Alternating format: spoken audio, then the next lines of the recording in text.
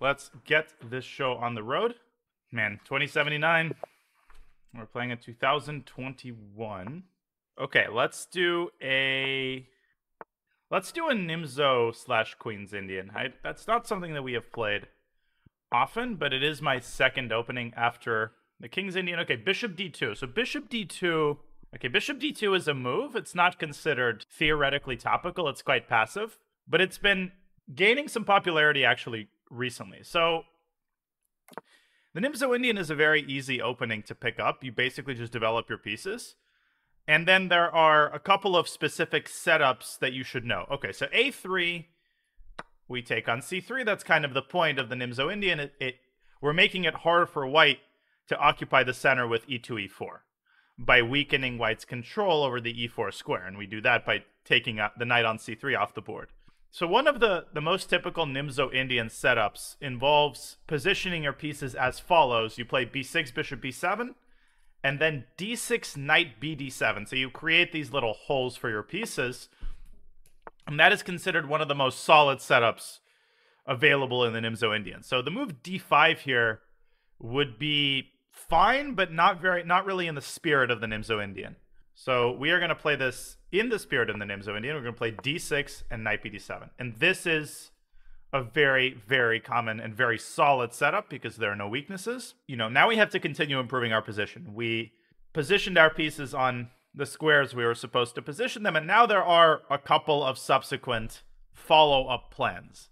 So one of them is to play something like queen to e7 and then push e6, e5.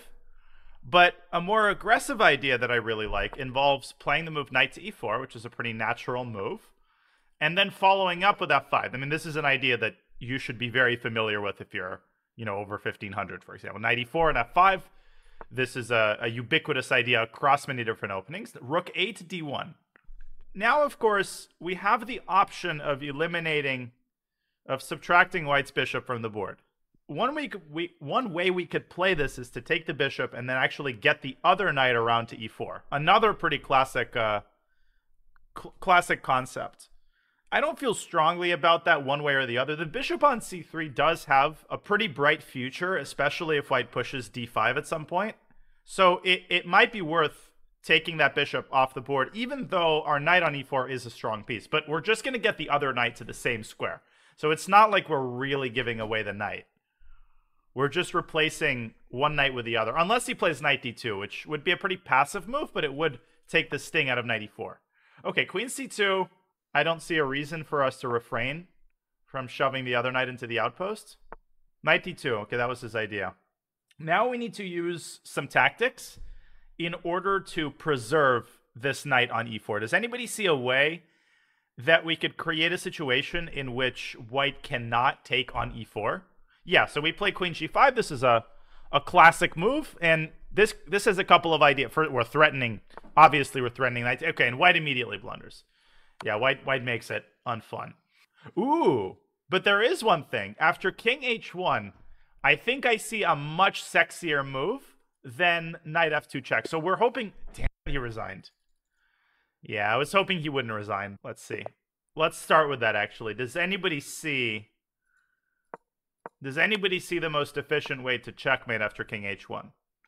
So queen takes e2 wins, obviously. Knight f2 check wins. But knight g3 check, I think, is the fastest mate. h takes g3, and rook f6 with rook h6 to follow. There is no smothered mate because white can give up an exchange on f2. But this is a pretty situation where, despite it being white to move, there's just nothing that he can do just remember this. This is a classic mechanism. Like white can put a rook on f2, we'll just take it. Yeah, so this is mate. Pretty underwhelming game. We didn't really get a chance to do anything. Yeah, so the Nimzo Indian is one of those openings that kind of flies under the radar. Like, I don't think there's a chessable course for the Nimzo Indian, even though it's it's definitely top three in terms of like objectively best openings, especially when it's paired with something good against knight f3. So against knight f3, you can play a bunch of different things. You can play Bogo Indian. You can still give this check. The Queen's Indian is b6, and then you can play uh, d5, and after knight c3, bishop b4 is the Ragozin, which has been extremely popular in in the last few years. Um, and of course, white can also play the Catalan, which is a big reason that a lot of people don't play the Nimzo Indian. They don't like facing the Catalan, but honestly, the Catalan at like a level below 2500 is not that scary. Like all you really need to do if you are black against the Catalan is choose a setup and learn it. There's like five or six different variations that all lead to uh, very, very decent positions for black. And the simplest is probably to play the main line, to play bishop e7, castles, and then d takes e4. And if you want to play like the pros, uh, recently, does anybody know? Uh, let's see who has who is in tune with top level chess. What move in this position is extremely popular nowadays, when, whereas it was never even a move before? Does anybody know? Yeah, b5. And the reason that this has never been a move is because of a4. And this was always considered very bad because it was considered forced that black had to play b4. You cannot afford your entire pawn structure to be destroyed like this. And you cannot play a6 because the rook hangs. And yet, these people did play bishop or a6 or bishop b7. And this line has become ridiculously popular recently. And it turns out that if white just grabs the pawns, first of all, white cannot take here because of a takes b5. The rook is exposed. And if white takes ba6, knight a6, queen c4, and after bishop d5, black gets a pretty big initiative in return for the pawn. And this line basically equalizes. So this is worth exploring if you need a line with black against the Catalan. There's a lot more to this, obviously. Like white can avoid this by playing queen a4. But this allows black to enter the favorable main line a6, queen takes c4, and b5. The reason people started playing queen c2 is that after a6, a4 became extremely popular. Like this move became the way to fight for an advantage, whereas earlier people had been taking automatically on c4 and getting into this variation, uh, which is now considered completely fine for black. But there's still a lot to a lot to learn here. Um, so definitely you should learn the Catalan if you're an Nimzo player, and then you should learn the Nimzo proper because it's it's pretty vast. Brandon played e3 against me in the tournament, which is the Rubinstein variation, probably the most reputable line. Queen c2 is the kind of more ambitious variation. And, you know, there's a bunch of other moves. Bishop d2, what our opponent played. Bishop g5 is the Leningrad variation. g3 here is possible. Of course, white can play knight f3, and then black has the option of transposing into the Ragozin with d5. Uh, and there's the move f3, which I've played with white. There's the move a3, which is quite similar to f3. Yeah, I mean, there's there's a ton to learn if you're an Nimzo player. But the good thing about playing the Nimzo is that most of the time you can kind of improvise, and if you know the main setups, if you like understand where the pieces where the pieces usually go, then you can generally get a decent position against most lines. And one of those very typical setups is indeed to take the knight. And the idea of bishop d2, of course, is to take back with the bishop to keep the integrity of the queenside pawn structure. And then we play b6. And black is slightly worse in this setup. Like, I don't dispute that the engine usually gives like 0 0.4, 0.5 uh, in these types of positions, but it's really, really solid. Like, black has no weaknesses. Every piece is doing something, and it's very easy to play. but generally, the reason that white is considered to be better in these structures has to do with the move d5. So I actually think queen c2 Queen c2 is fine, but if I were white, I would actually keep the bishop with bishop e1. I would keep the bishop pair. And the reason I think a lot of people would hesitate to play a move like bishop e1 is that you'd think, well, the bishop is terrible on e1. But again, when you're discussing and you're thinking about piece placement, piece placement is often temporary. Whereas a bishop pair is a more long lasting advantage. You're eventually going to improve the bishop. And on the next move, you can potentially push the d pawn up to d5. So for example, f5, white can already play d5, forcing black to play e5, and now white has a clamp on some of these squares. I would keep the bishop here. Queen c2 is fine. f5, rook a d1. So we take the bishop, we get the other knight around to e4. Notice that d5 here, sometimes this is a pawn sacrifice. that is used in order to open up the position and kind of introduce weaknesses into black's position. But specifically here, it might not work. So EDCD. Now, which way should black take? Who can tell me? Bishop or knight takes? What is better?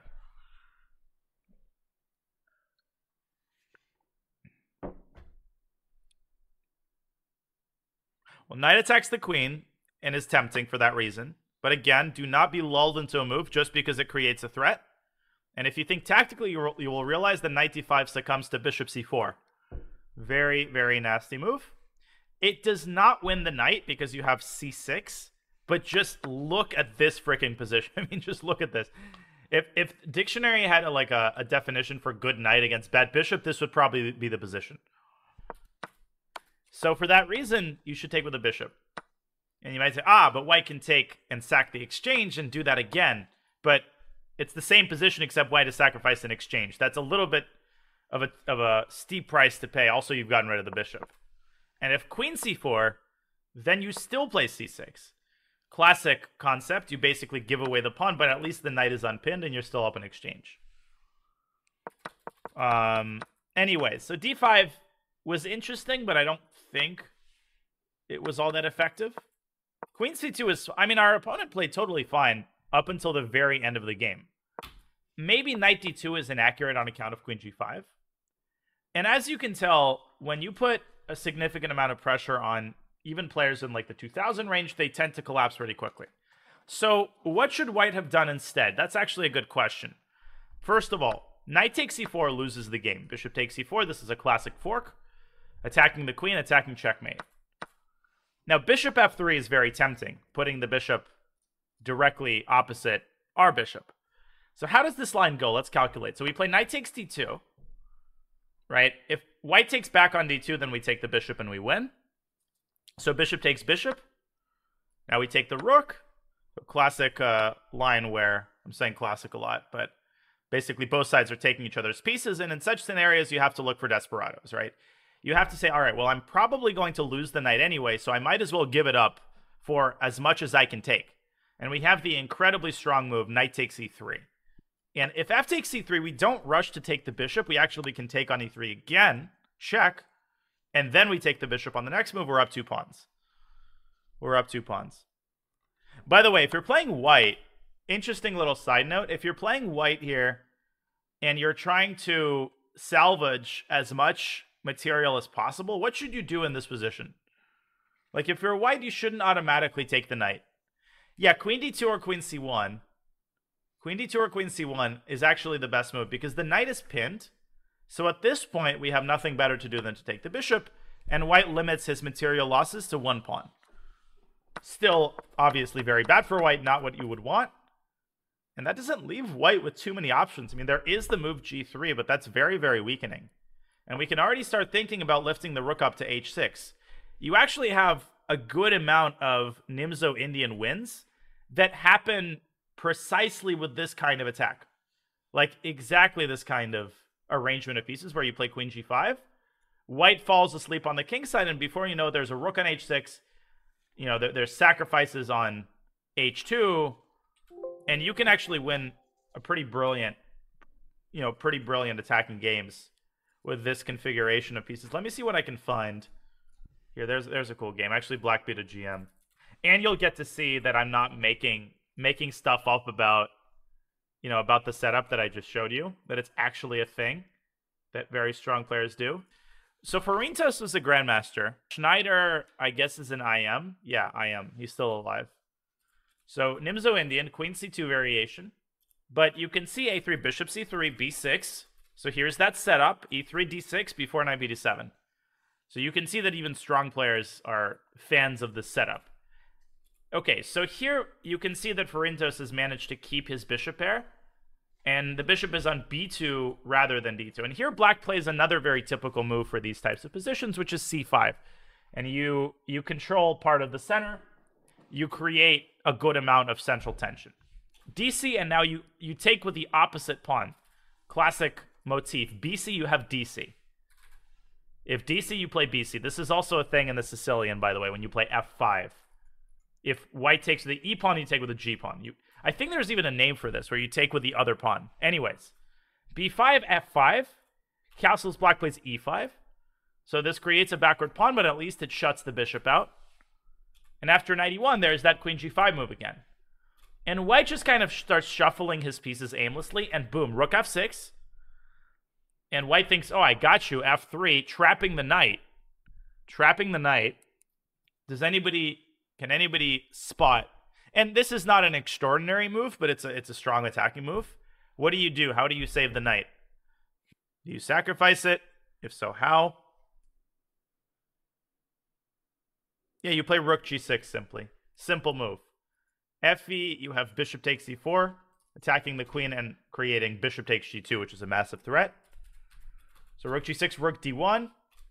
I like how black just chills on e4, no problem. But here, white plays queen b3, understandable move. And that's actually why white played rook d1, because now the knight can escape back to f6, but you're going to lose the d6 pawn. You're going to lose the backward pawn. But all of a sudden, notice how white's pieces have just sort of departed away from the king side. Bang, knight g3. hg, queen takes g3. And it doesn't seem like black has any threats, but the problem is just that white cannot get black's pieces out of... You can't smoke the queen out of g3 easily, so black is not in much of a hurry. And black just goes rook h6, rook h2, and then e4, striking at the center and in just overwhelming attack. Queen h4, threatening checkmate on h1.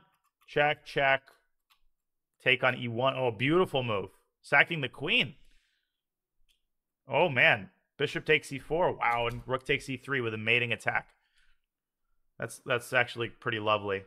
White has to go here, and then you basically just take everything. And at the end of the day, you're going to be up a piece. Great attack. I didn't even notice the black had sacked a queen at the end of this. Rook takes e1 simple but very very pretty. Um, yeah, like four pawns. but anyways, you you get the point. The Nimzo is not just a a lame positional opening. It's you know it, it is a gateway to some pretty cool attacks, especially in this particular kind of structure. Thank you, Kza, for the tier one. Yeah. Anyways, um, F three was just a terrible blunder. And after queen takes e3 check. Oh, it had a very cool attack. It had a failed attack by the player playing white. White take with the other pawn. Oh. Yeah, to create an imbalance in the center and also to keep the d file closed because white has easier access to the d file than black does. Anyways, all right, guys, I'm to call it. It's, it's past four, so thank you, everybody, for the support. Pretty good blitz today. Definitely we'll stream tomorrow, and uh, I'll see y'all later.